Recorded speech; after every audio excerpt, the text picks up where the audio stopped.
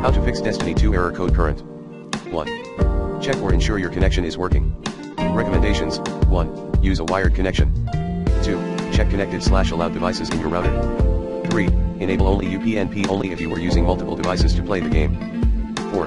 Set up UPnP or port forwarding, Google port number required to play Destiny 2. 2.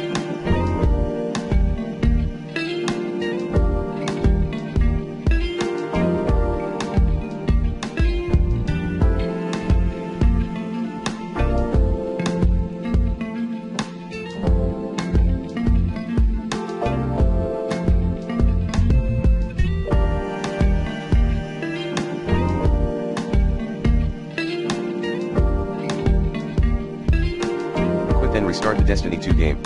3. Ensure Destiny 2 servers are up and running.